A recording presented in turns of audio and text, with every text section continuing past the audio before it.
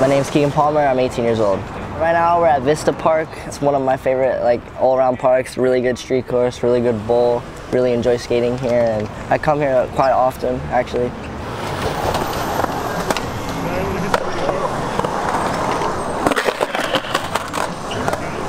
Since I got back from Tokyo, I mean on a day-to-day -day basis it's the same, just like every other day it's like a, maybe like an interview or just like talking to like my manager and stuff like that a little more than what it was, but otherwise it's pretty much the same.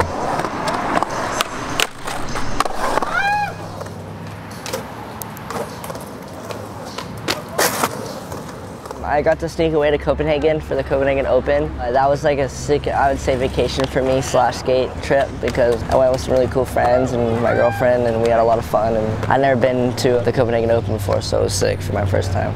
Yeah, no, it was sick to see everybody right after the Olympics too so everyone was super hyped and stoked to see me so it was like super cool to see everyone.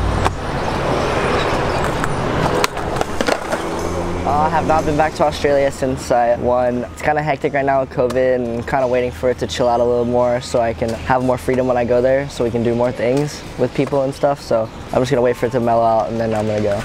Yeah, I know. There's been a lot of gatherings and like a lot of groups of people in Australia that have like really been supporting me well. I can't wait to go back and see everybody there because it's gonna be really proper and yeah, I'm excited, looking forward to it kind of just want to like start filming more like street projects and park projects now and kind of just like take a little break from contests while there's none right now and when they start to be brought back up you know we'll see what happens then but as of right now I kind of want to start filming and stuff like that.